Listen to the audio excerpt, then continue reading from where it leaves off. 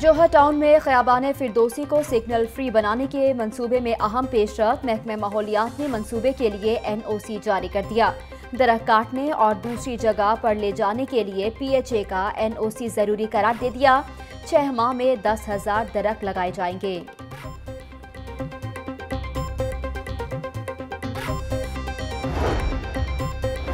Lahore news کی خبر پر انتظامیہ کا ایکشن جوہر ٹاؤن مین بولیورڈ میں سڑک پر پڑھے شگاف کو بھر دیا گیا۔ اللہ چوک کے قریب سڑک بیٹھنے سے تین فٹ چوڑا اور چھ فٹ گہرا گڑھا پڑا۔ ٹریفک روانی شدید متاثر رہی۔ انتظامیہ نے اطلاع ملنے کے بعد کئی گھنٹے کے بعد مٹی سے گڑھے کو بھر دیا۔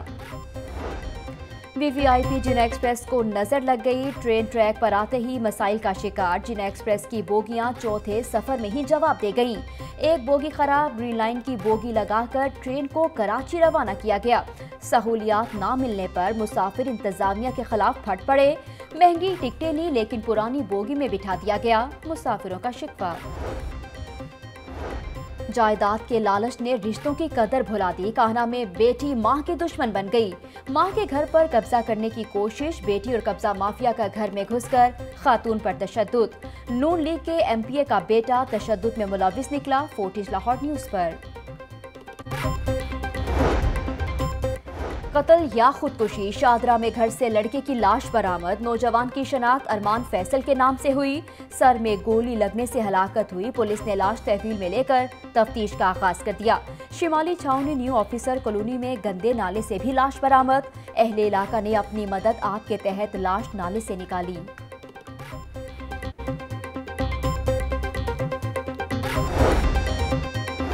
مشیر وزیراعلیٰ برائے پرائز کنٹرول چودھری محمد اکرم کا ٹولنٹن مارکیٹ کا دورہ تاجروں کے مسائل سننے کے لیے کھلی کچہری لگا لی۔ ناقص انتظامات پر اظہار برہمی، انتظامیہ کو لاسٹ وارننگ ٹولنٹن مارکیٹ کو مثالی بنائیں گے، عوام کو صاف ستھرا گوشت فراہم کرنا ہمارا ہدف ہے۔ چودھری اکرم کی گفتگو۔ ہوپ فاؤنڈیشن کے زیر اہتمام ڈیفنس میں نئے ڈسپلے سینٹر کا افتتاح، موٹیویشنل سپیکر اور life coach doctor Shawana Mufti نے فیتا کاٹ کر افتتاح کیا۔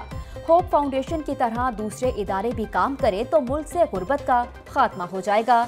ڈاکٹر شوانہ مفتی کا خطاب۔